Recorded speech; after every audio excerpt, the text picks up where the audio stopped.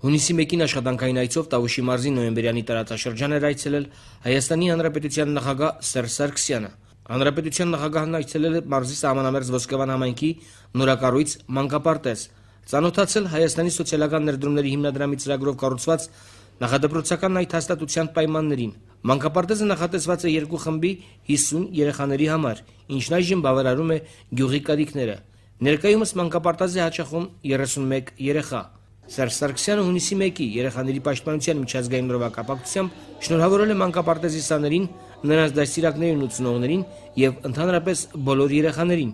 Դիտել օրվա առիթով սահմանամերձ Ոսկեվանի մանկապարտեզում կազմակերպված միջոցառումը։ Ոսկեվանում նախագահը ցանոթացել է նաեւ այդ համայնքում, ինչպես նաեւ նոյեմբերյանի տարածաշրջանի այլ համայնքներում, Ոսկեպարում, Բաղանիսում, Բարեկամավանում,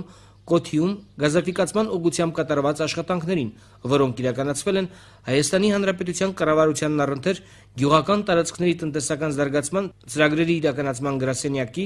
գյուղական կարողությունների ստեղծում ծրագրի շրջանակներում։ Պատասխանատուների հավաստմամբ կատարվել են շուրջ 3.5 միլիոն ԱՄՆ դոլարի աշխատանքներ, անցկացվել է ավելի քան 66 կիլոմետր գազատար, որի արդյունքում ծրագրի շահառուներ են դարձել շուրջ 2300 պոտենցիալ բաժանորդ տնտեսություններ։ Նախագահին զեկուցվել է, որ վերոնշյալ շինարարական աշխատանքներն ավարտված են։ Ներկայումս կատարվում են շահագործման փաստագրման աշխատանքները, որոնք կավարտվեն 2014 թվականի հունիսին եւ հաջորդ 3 ամիսների ընթացքում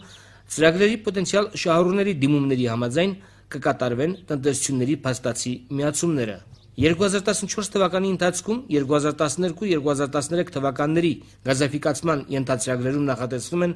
լրացուցիչ շինարարական աշխատանքներ գազաբաշխի ցանցերի ընդլայնմամբ։ Ընդհանուր առմամբ նախնական հաշվարկների համաձայն նշված համայնքներում պահանջվում է կառուցել մոտ 12 կիլոմետր երկարությամբ գազատար շուրջ 421208 ԱՄՆ դոլար արժեքով։ Լրացուցիչ շինարարական աշխատանքների նախագծերի կատարումն ընթացքի մեջ է իսկ շինարարական աշխատանքները կավարտվեն մինչև տարեվերջ։ Հայաստանի Հանրապետության նախագահը հանդիպել է համայնքի բնակիչների հետ, զրուցել նրանց ուզող առաջնահերթ խնդիրների եւ հետաքրքրող հարցերի շուրջ։